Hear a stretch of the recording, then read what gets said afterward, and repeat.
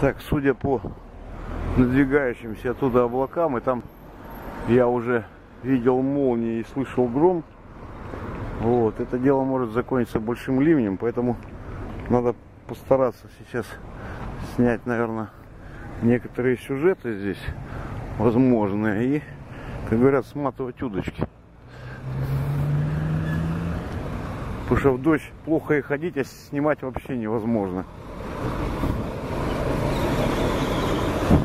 Если бы у меня была какая-то подводная камера, а я был бы там в костюме водолазном, может быть это было бы проще. Так вот пройдемся сейчас по улице судостроительная, она вот здесь начинается. Ну это вот бывший Балтийский райком партии. Сейчас тут э, суд.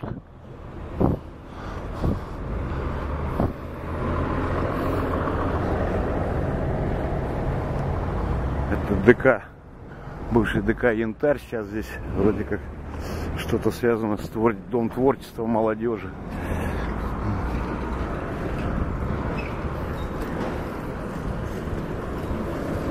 Здесь я хочу, в общем-то, снять один объект. Это бывший, вот, и может даже настоящий, мне трудно сказать, работает. Но сейчас бывший немецкий пивной завод и что-то там еще осталось. Вот дворец творчества детей и молодежи Янтарь. Это называется.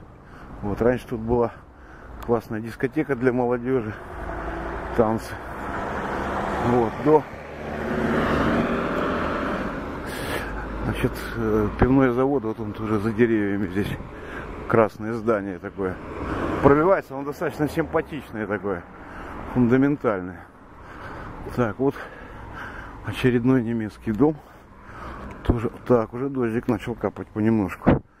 Вот, так что мы сейчас ускорим немножечко съемку. Вот, и, наверное, будем драпать, как немцы.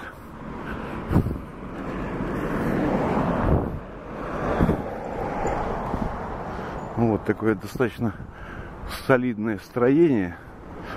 Ну вот. Вот это за забором. Сейчас пройдем деревья и посмотрим его. Ну, такой характерный вид, такая мануфактура, которую можно прямо таки изображать как пример промышленного процветания. Очень симпатичное здание такое. Вот, заброшенное, запущенное и заброшенное. Вот.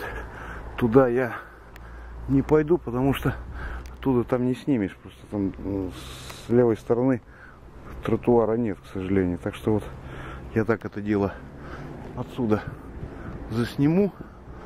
Вот, все, дождь уже начинается более-менее активно.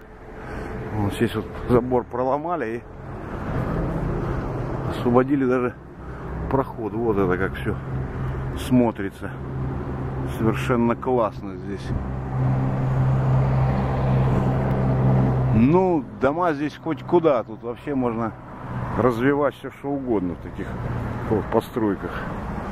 Ну вот. Ну вот. Все.